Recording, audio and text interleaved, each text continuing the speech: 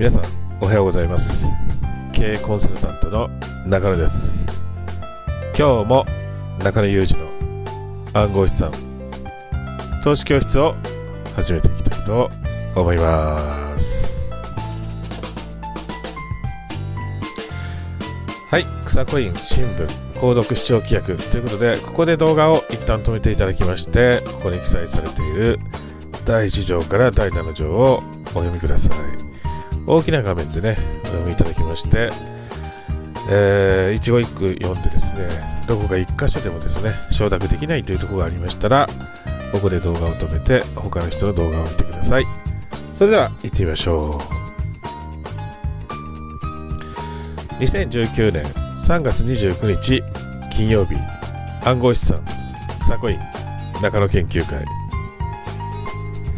今日のね、千葉県松戸市はね、寒いですね。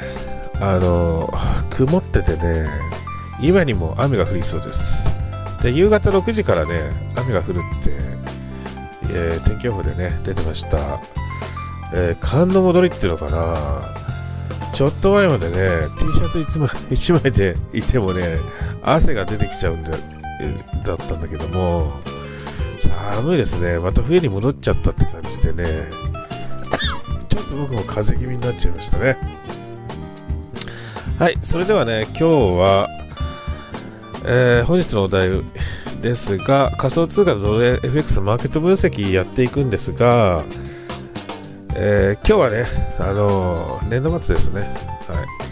3月29ということで、えー、日本の会社は3月末決算ですよね。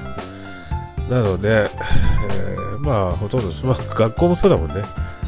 3月末で卒業で、4月から入学と、4月1日から入学と。で、会社もそうだもんね。入学入社式がある人なのね。新入社員の方は、もう、そうだね、入社式、あもう働いてる人いるかもしれないけど、入社式が4月1日からあるからね。えー、どっか研修センターで研修するとかね、合宿とかね、あとは転勤、転勤というか配属先が、えー、地元を離れて、まあ、東京、大阪とか逆に東京、大阪の人が北海道行ったりね、九州行ったり、えー、いろいろあると思いますよ。環境の変化が激しいので、まあ、大学ね、大学に行くっつっても、えー、地方から東京出てくるとかね、いっぱいあると思いますから、4月は環境の変化が激しいのでね、まあ、それだけ体調も崩しやすいと同時に、まあ、楽しいことばっかりですよね。新しい友達ができたりね。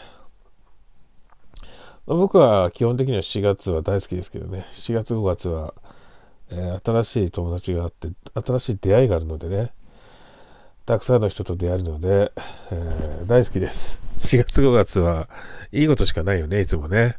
本当 本当楽しいことばっかりですね。はい。それではね、ちょっと、MT4 を出してみようか。XM の MT4 ですね。ちょっと出して。はい。これです。ドル円ですね、これね。ドル円ですけれども、えー、ちょこれ5分足だからよくわかんないですけどね。4時間車とだいぶ上がりましたね。だいぶググンつってね、これ9時半の指標ですかね、昨日の夜の。ものすごい上がってですね、久しぶりに見ましたね、こんな指標1本、1本か2本かな？80ピプス上がってますからね、一発でね。で、前回高値を越してるんだよね。で、私が設定した IFO にきちんとこうヒゲで引っかかってるというところで、まあ私が目標としたね、100%IFO のとこきちんと言ってるっていうことで、まあ、まずまずかなと。前回ここで終わっちゃったんだよね。だから、あと、そうだな、あと、13ピプスのヒゲがあるからね。だから、10ピプスぐらい足んなかったのか、これ。9ピプスか足んなかったの。うん、ここでもいいのか。いや、ここだろうな、やっぱり。最初に1回決めないとな。10ピプスぐらいかな。で、2回目で到達したってことだね。さあ、それでここからどうなるかってことなんですが、まあ基本的には前も言いましたけど、月足、ドル円は月足のペナントフラッグになってまして、えー、まあ、エネルギーが溜まってるよね。ボリンジャーバンドのスクイーズになってるから。これ、これがトランプ大統領の爆上げの時で、その前のアベノミクスが失敗なんじゃねえかと、3本の矢の3本目が飛ばねえじゃねえかよってことで、すごく落ちたんだよね。これどのぐらい落ちたんだろう。こっからだから、ああ、2600ピプス、26円落ちですね。20 2600ピプスだから えー、20万あれば100万通貨かけられるんで、20万あったら2600万になったね。200万あったら2億6000万になりましたね。はい、これだけでね。うん。で、まあ、アベノミクスから、アベノミクスの失敗から始まってるわけですね、これ。2015年1月だよ。2015年1月からの、えー、4年にわたるですね、ペナントフラッグがようやく終わりに、終わりかけようとしてると。で、今回ペナントフラッグのもう先端の方来てるんだけど、ここでがっちりサポートされてですね、えー、冷やしかか、がっちりこう、下の部分をね、サポート、あの、このトレンドライン、ペナントフラッグのトレンドラインにでサポートされて、ぐっと上がってきたってことだね。やっぱり上まで行くね、これ。113円29まで行くね、これ。で、上にぶち抜いて、114円50銭行って、その後上行くかどうかだね。もう下来ないでしょ、めんどくさいから。下来てまた上行くってことはしないと思いますけどね。ここでロング入れたらお宝ポジションになるかもね。150円ぐらいいっちゃうかもしれないね。本当にね。146円ぐらいいくかもしれないね。うん。ロングポジション入れるとお宝ポジションになるかもしれないですね。楽しみであることは確かです。はい。やっぱあの世界の、世界中がさ、テレビのニュースとか、ネットのニュースの全てが、もう世界経済悪いからドルは失速するって言いながらの爆上げということなんで、やっぱり、あの、チャ チャートが全てなんだよね。チャート見てれば分かる。ここできっちり、えー、1、2、2日間サポートしたからね、ちゃんとね。で、3日目に上がったということだね。うん。やっぱりチャート見てないといけないかな。はい。ニュース、ニュースだけ見てると、下だ下だっつってね、目線がショートになっちゃうから。うん。で、頭の中にバイアスかかったらもう負けだからね。目線を決めた時点で負けちゃうから。目線はいつもニュートラルですよ。どっち行っても儲かるようにしないとね。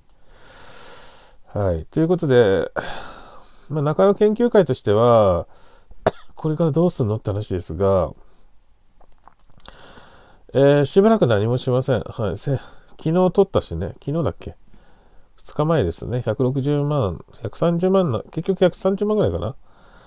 えー、取ったので、結局、トレーニングストップにかかってですね、あれから下げたからね、えー、133万ですね。133万。前話したかな？えー、133万ですね。かかって、165万あったんだけど、ちょっと下がって133万になりましたね。で、トータル資金は1613万6100円ですね。で、これを、これからどうするのって話なんですが、今日はやらないですね。はい。あの、トレンドがまだ出てないんで、ここら辺がトレンドだったかもしれないけど、ちょっとわかんなかったね、これね。下がって、上がって、だこれまだ新しいレンジの中にいるって感じかな。で、これレンジ内だから、じゃあレンジはどこからどこまでかって言ったら、ここかなしたら。ここから、ここかな。ヒゲを入れると、ここからここまでのレンジと考えた方がいいね。そしたら、どのぐらいあるのかと。81.6、81.8ピプスですね。の間のレンジですよって捉えてもいいと思います。ただ、一回上行って、ここの間のレンジがすごい狭いので、それだったら、ここと、これ取ってね。あ、取れちゃった。はい。こことこの間のレンジ。というふうに捉えてもいいかもしれないですけどね。ただまだレンジの形成がまだ始まったばっかりですから、もう少し待つと。はい、こことこの間が29.9で30ピップスですね。ちょっと狭い感じはありますが、はい、ちょっといいかなと。今日金曜日なので、あのブレイクする可能性ありますね。で何があるか分かんないんで、金曜日は。ちょっとやりたくないですね、ちょっと今日はね。やりたくないですね。で、来週の金曜日が、アメリカの雇用統計の発表の日なので、えー、っと、その時ブレイクする可能性があるんですよね。それかその前、前日の木曜日。だから来週のですね、水曜日まで待って、で、水曜日に、えー、っと、来週の水曜日ね、だから4月3日の水曜日にですね、IFO の設定をしたいと思います。レンジ、レンジ測定してね。それまでは、えー、何もしないというのがいいと思います。まあ、1600万もあるんでね、1600万もあるから、何もしなくたって、あの、ご飯食べられるし、車買えるし、遊びに行けるから、1600万あるからね。まあ、全然いいかなって感じですね。はい、だから、お金さえあれば、やんなくていいんだよね、FX なんてね。FX やる必要ないんだよね、もう、そもそも。ポジション取れば取るほどリスクも増えるからね。うん、ややらない方が一番いいんでね。やんなければ、上位15%入ってるから、はい、やればやるほど、はい、ポジション取取れば85%の割合で負けますから、それをどういうふうにあの数学的な計算でね、リスクをヘッジしていくかですよね。うん。はい。で、ちょっと、えー、っと、あれ見てみようか。えー、外為。ガイタミ .com さんの、えー、注文ですね。はい。えー、米ドルですね。米ドルの注文状況ですが、うん、売りも多いし、買いは少ないか。111円になると売りが多いよと。ちょっとわかんないですね。あんまり方向感ないけど、どっちかというと売りが多いかな。売りが多いので、上がんないって感じですね。下がりもしないけど上がんないって感じか。うん、あんまり日本時間はやる気ないって感じですね。あとトレーダーズ FX。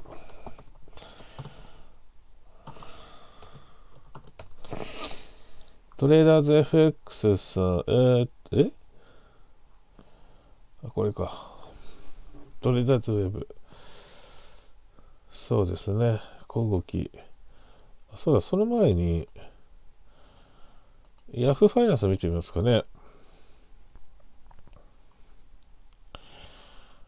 ヤフーファイナンス、まだ8時44分なんで、日経が始まってないんですが、ニューヨークダウはプラス91ドルと、まあ、小幅な反発ってことですね。うーなんで、下がりはしないけど上がりもしないって感じかな。うん、ちょっとわかんないですね。はい、それでコンパス見ると、28、これ昨日のだもんね。うん、ちょっとわかんないですね。ん？これ更新してんのか、これ、こっちは更新してる。29日6時7分。えー ごめんごめん。今は63銭から65銭ですよね。ここか、やっぱりいいのか。はい。で、110円90銭いくと売りと、売り集め、ニューヨーク、オプションニューヨーク、3日ニューヨークカット。まあ、まだ3日は時間あるよね。はい、オプション2日ニューヨークカット。まあ、今日は大丈夫ですね。今日は動かないですね、これ。うん、今日は、動かないですね。50。そうだな。どっちかというと下がるかな。60だ、90だから30ピプス上ではもう売りが入ってて、買いは110円になると買いが入るから、うーん、下がりますね、今日ね。今日はショート。今日はショートかなこれからちょっと下がってくんじゃないですかね。こう、ほら、ちょ、ちょっと下げが始まるかなちょっと、いや、1分足なんか見てわかんないからね、こんなの。最低15分。まあ30分かな、最低。どっちかというと下がるかな。中値はないでしょ、今日は。本当に年度末なんで、経理動いてないでしょ。本当に決算書類の作成で、もう多分余ったドルを日本円に変えることも終わっちゃってや、やり終わって終わってるし、はい、日本企業はドルは買わないですね、もう。だから下がるでしょうね、これね。これショートでやればぐーん下がってくると思いますよ。はい。そうですね。でも僕もやらないから。はい、僕もやらない。私の金額は大したことないけどね。だから、1600万もあれば、えー、別に今日1日で100万、200万、車買ったところで減らないということですね。えー、これを見るとまあ大丈夫ですかね。あとは経済指標ですね。何かあるかなってとこですが。市場カレンダーか。カレンダーはあれの方がいいですね。民株。民株 FX が一番わかりやすいかな。3月29日。うん。前回の変動幅見ても動かないですね。うん。動かないと思いますよ、これも。夜のね、アメリカの指標発表もね。うん、今日はミシガンとかもありますけど、今日は動かないので、やらないのが一番ですね。金曜日だし、年度末なんで、で、明日、明後日土日で終わりなんで、で、来週の月曜日は、4月1日でね、年度始めなんで、年度始めも動かないですから、もう社長の訓示とかもいろいろあるからね。あとは新入社員の入社式とか、忙しいですから、会社は、日本の会社は。まあ、公務員もね、忙しいですし、あとはなんつったってほら、あの、来週の月曜日、なんつったって日本の言語が、新しい言語が発表されますから、お昼にね。楽しみですよね。私、久しぶりに一般公開生ライブをね、えー、お昼にやろうかと思ってます。はい。で、テレビ見ながら新言語が発表されたらね、えー、ホワイトボードに書き写して、新言語がこれですってやろうかなと思ってます。はい。あとね、えー、っと、あれか。仮想通貨の方は特に動きないですね。うん、追加にチャージできるって話があったけど、そっから動いてないですね。ビットコイン動いてないです。うん。あんまり、お？ネムが動いてますね。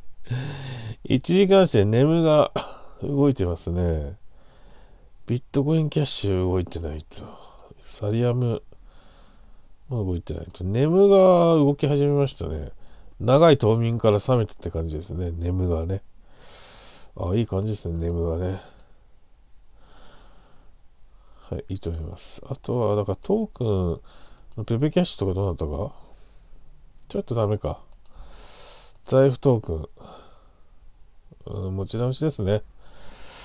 はい。ということで、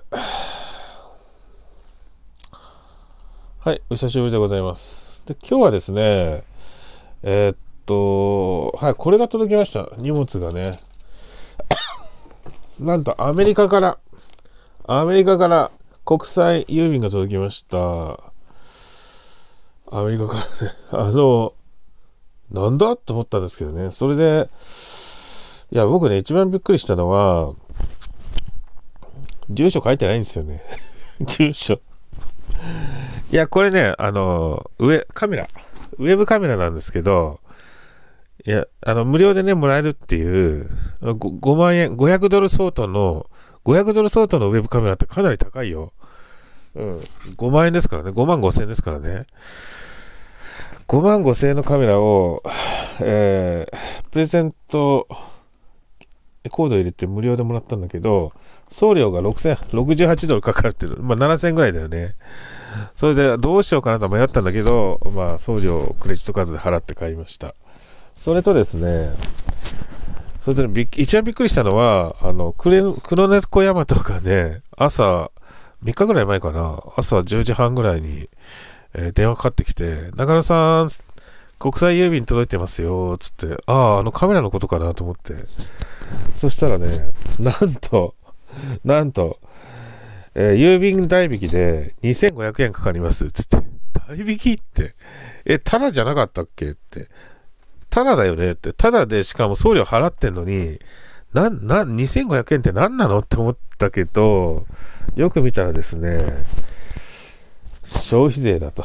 消費税って書いてありました。消費税って言ったってさ、あの、ただじゃん。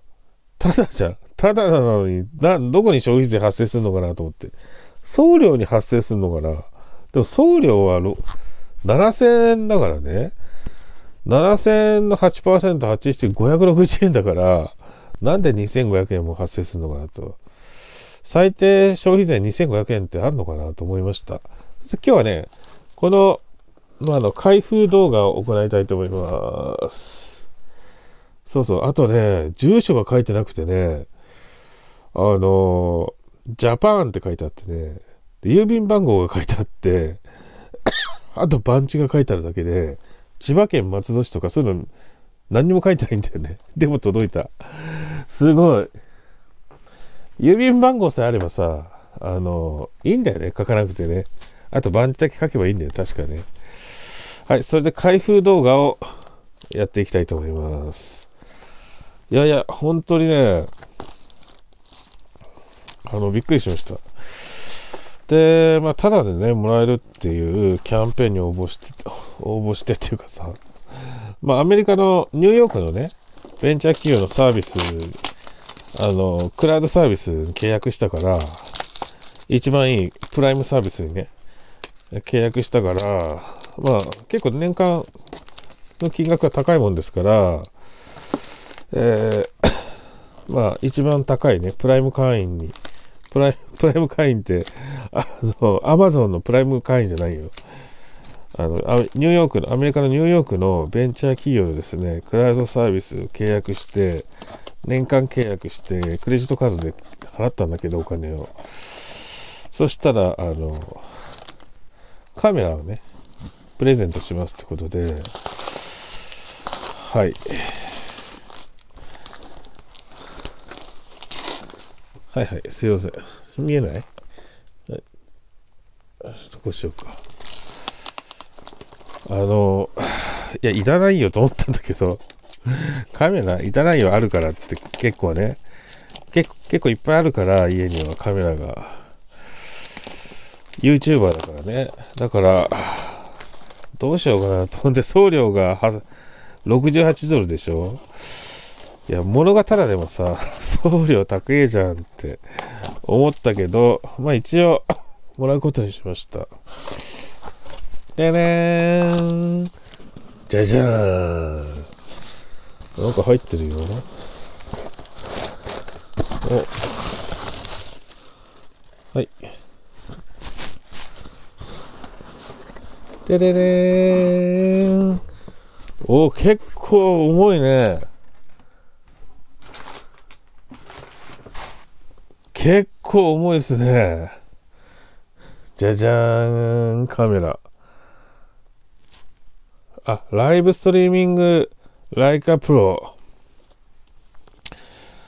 まあ実はですね、YouTube と同じような、えー、商用利用のできるですね、セキュリティ性の高い、はい、パスワードもかかるですね、商用利用のできる、えー、動画ストリーミングサーバーを 年間契約したんですよね。で、一番いいプライム会員に契約して、実はそれはですね、動画のストリーミングだけじゃなくて、あの、ライブ放送もできるんですよ。で、実際にもうライブ始めてるんだけど、それでね、非常に画質が良くてですね、音質もいいということで、えー、長野研究会のね、長野研究会というか、週刊、週刊、週刊、週刊じゃねえよ 草コイン新聞の別冊ね、別冊を購読してくれてる方にはね、毎晩 YouTube ライブやってるんですけども、あの、非常に好評です。ただね、あの、専用のカメラが必要みたいな感じのことが書いてあって、それがこのカメラみたいですね。で、今までは専用のカメラ使ってなくて、あの、私が持ってる、えー、ロジクールとかバッファローのカメラを使ってたので、たまにね、調子が、カメラの調子が悪い時があったんですが、ひょっとしてこれを使うと、うん、あ、YouTube でも使えるって書いてあるね。あ、Facebook ライブでも使える。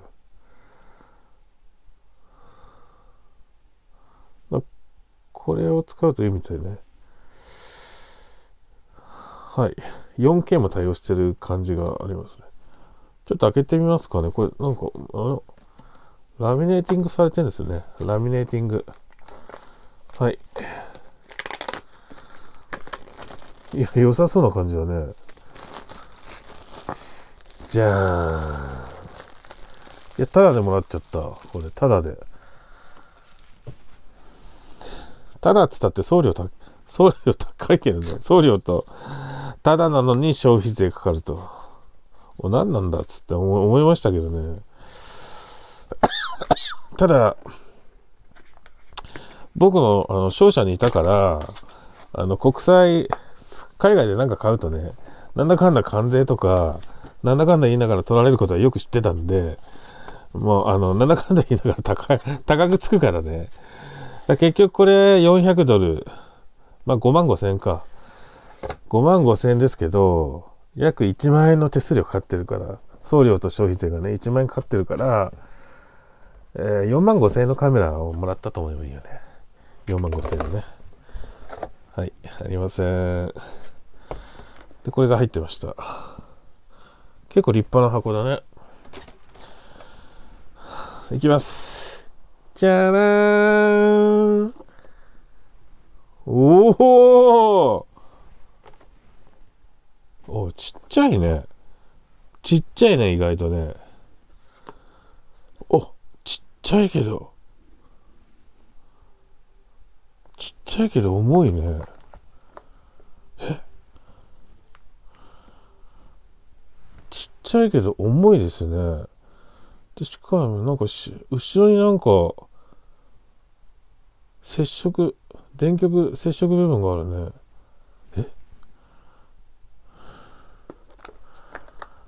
え？え？どうなってんの？どうなってんの？これ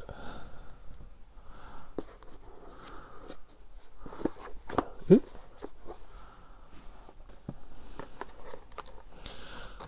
じゃらーん。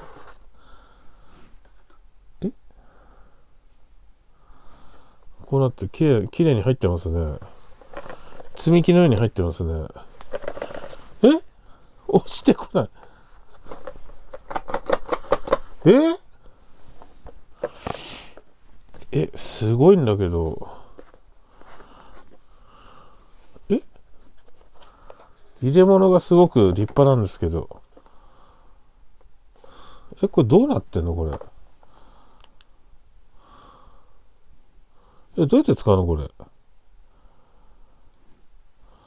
え？わかんないですね。こうやって使う。あうわ またまた回ったぞおいおいおい 綺麗綺麗すごく。え、なになにこれ？爆発するのかこれ？おおおおなんだなんだなんだなんだおースカイツリー、スカイツリー。おーきれいきれいきれいきれい。七色に光ってる。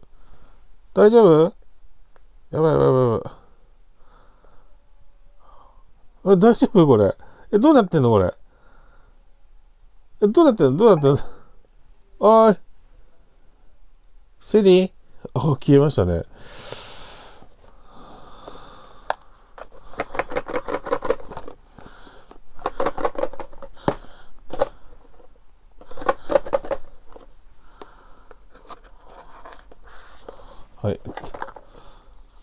あ、これが、あ、これが、これが台ですね。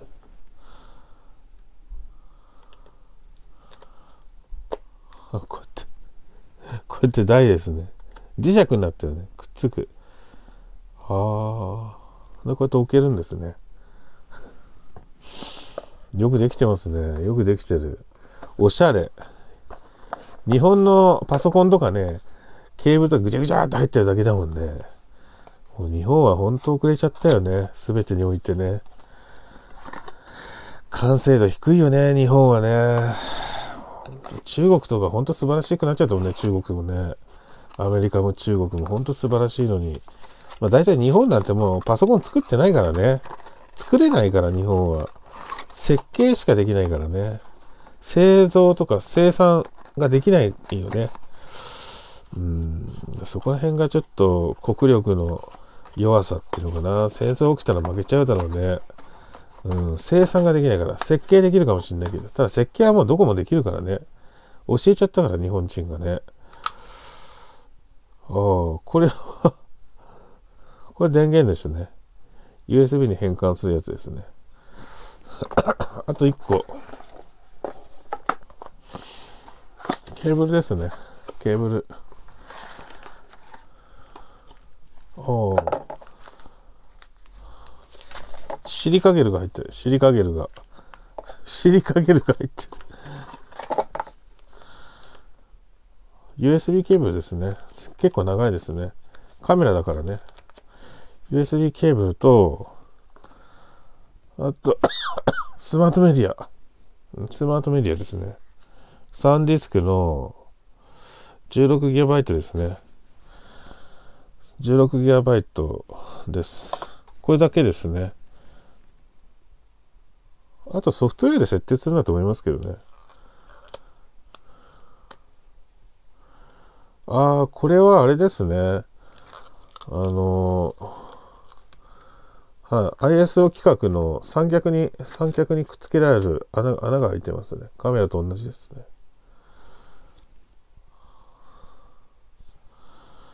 これ外してみようか。はい。ああ、すごく、すごく肌触りいいですね、これ。すごく肌触りいいですね、これ。ふわふわしてそうで硬いですね。すごく肌触りいいですね。なんか UFO の外壁触ってるような感じだね。すごいですね、これ。ウェブカメラですね。高性能ライブカメラ。これ、重たいですけどね。こう、う高性、あんで、ここにマイクもついてますね。しっかりしたマイクがついてますね。なんか良さそうですね。はい。ということで、今回は、えー、ニューヨークから届きました、ライブカメラの開封動画もやってみました。これとですね、これと電源、電源タップ、それとスマートメディアが入ってたということですね。あとスマートメディア入ってるから、録画もできんのか。だから、防犯カメラにも使えるって感じかな。上にさ、スイッチがついてるんですほら。すごい綺麗。すごい綺麗なんだけど。やっぱりもう日本人にはか日本人は勝てないね。うん、このセンスの良さ。うん、いや、全然カメラにこんなアクセサリー必要ねえだろっていうかもしんないけど。まあこういうとこ魅力的だよね、やっぱりね。日本人にはこう、少なくとも三菱電機にはこういう発想はない。うん、必要ねえだろって思っちゃうからね。ソニーも最近ないよね、こういう発想がね。ソニーにもなくなりました。パナソニックももちろんないしね。はい。それでは、えー、最後にね、もう一回ちょっと MT4 ですね。上がったり下がったりですね。やる気ない感じですね。やる気ないって言ったら怒られちゃうけど、ここら辺、まあ、どっちかわかんないし、もしやるんだったら、ここの、ここですね。110円572加減上限110円819の間のですね 間の、はいまあ、30ピプスですね。30ピプスをレンジ幅にして、えー、上上抜けブレークあと下抜けブレークの IF の設定をスモールサイズでねするといいかと思います。それではこれで終わりですねそれでは今回はこれで終わりにさせていただきます千葉県松吉よりトム・グレーズがお伝えいたしましたえー、今週もお疲れ様でした。それではね、また頑張りましょう。土日ね、ライブができたらいいと思います。皆さんにはお会える、お会いできることを楽しみにしております。それでは、失礼いたします。おーおーおーこれどな、どういう意味なんだろうね、これね。色で教えてんだろうね、きっとね。はい、失礼します。